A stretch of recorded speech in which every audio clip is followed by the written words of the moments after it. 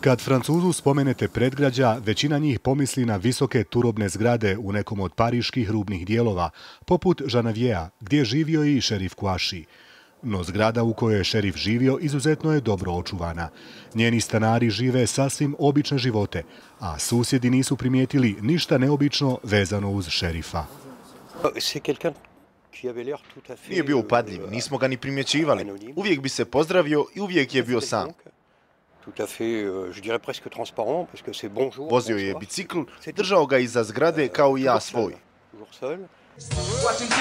Ovo je šerif Kuaši 2004. godine. Dječak bez roditelja koji je postao reper i sitan kriminalac. No postepeno je pao pod utjecaj radikalnog tumačenja islama.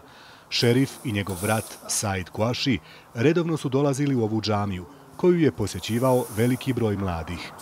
Imam me proveo kroz džamiju, tvrdeći da se ne sjeća braće Kuaši. Ovu džamiju posjećuje veliki broj ljudi. Prošlog petka tu je bilo hiljadu ljudi. Kako da znam ko je ko? U svakom slučaju nije na nama da se igramo detektiva mi poučavamo principima islama. Nalazimo se ispred zatvora nedaleko od Pariza u kojem je šerif Kuaši proveo nekoliko mjeseci života. Kaznu zatvora s njim je služio i Amadi Kulibali. Zatvori su odigrali veliku ulogu u širenju radikalnog tumačenja islama u Francuskoj. Smatra se da je na oba ova čovjeka veliki utjecaj imalo zatvorsko iskustvo. Ove snimke napravljene su tajno u zatvoru u periodu kad je Ikuaši služio kaznu. Na njima vidimo da je riječ o zapuštenom mjestu, nedostojnom čovjeka, mjestu na kojem se rađao bijes.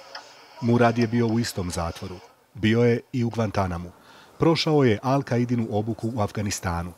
Sada tvrdi kako Francuska mora zaustaviti širenje radikalnih ideja u zatvorima. La prison est une contrainte. Mladi zatvorenici utočište traže u vjeri, jer su zatvorski uvjeti užasni. Mnogi mladi traže neki oslonac, imaju mnogo pitanja i odgovore traže tamo gdje im se nude. Koliko još ima Kuašija i Kulibalija, vlasti traže njihove istomišljenike. Ipak Francuska mora graditi društvo u kojem će ljudi imati osjećaj pripadnosti, a neće doći u iskušenje da učestvuju u sličnom napadu.